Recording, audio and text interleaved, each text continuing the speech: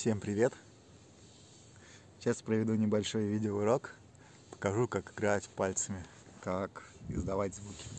Инструмент в данном случае будет использоваться 30-сантиметровый с 9 лепестками центральным игровым лепестком.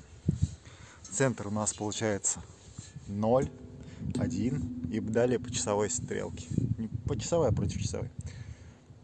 Слева направо.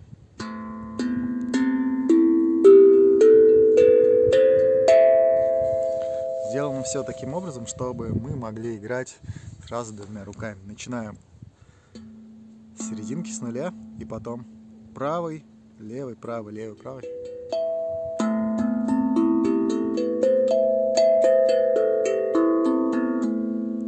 Вот эти вот три лепестка у основания мы играем их большим пальцем.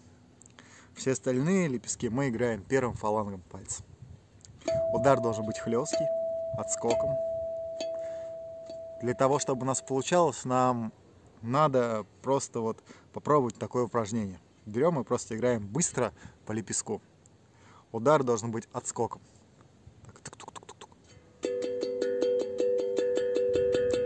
Через какое-то через какое-то время у вас получится звук издавать, чтобы звук был чистый. Далее переходим на следующий лепесток.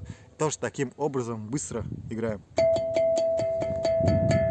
В итоге у вас должен звук чисто звучать при каждом ударе пальцем по лепестку.